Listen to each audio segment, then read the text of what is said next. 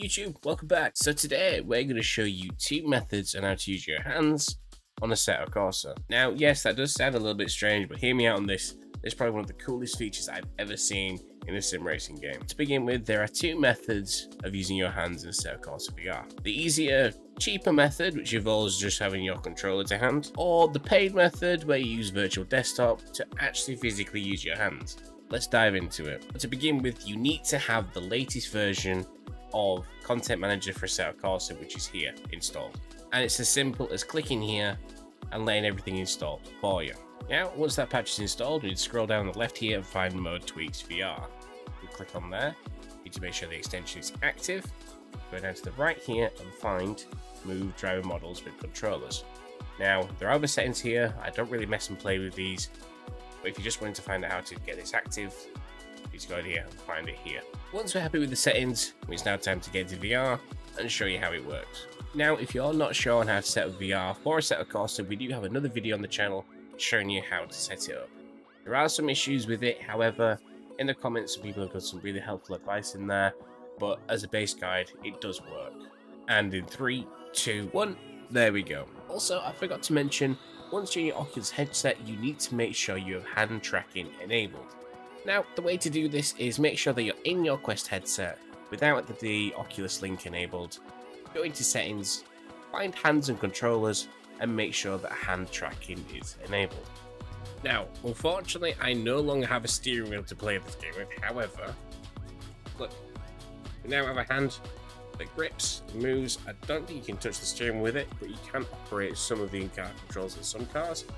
Here we are, finger, a hand, we now have hand controls in Assetto Corsa. As you can see now, while we're driving the Type R, we can drive along, we can out the window, we can wave to all our friends that we don't have. So now that's the free, easy method out of the way. Now it's time to get into virtual desktop method. Firstly, this is the thing that you want to download when you're in your Oculus headset, is the virtual desktop. Like I say, it is a paid for version. It's £14.99 in the UK. So if you want to do this and use your hands, you do have to go through this method, as far as I'm aware. Once that's then downloaded and installed, we need to go to the PC side of things and download Virtual Desktop Streamer app, which is here. If you're on a Mac, there's that version there. So now, once you've installed the application on your PC, I will show you now the settings that you need to have to get this to work.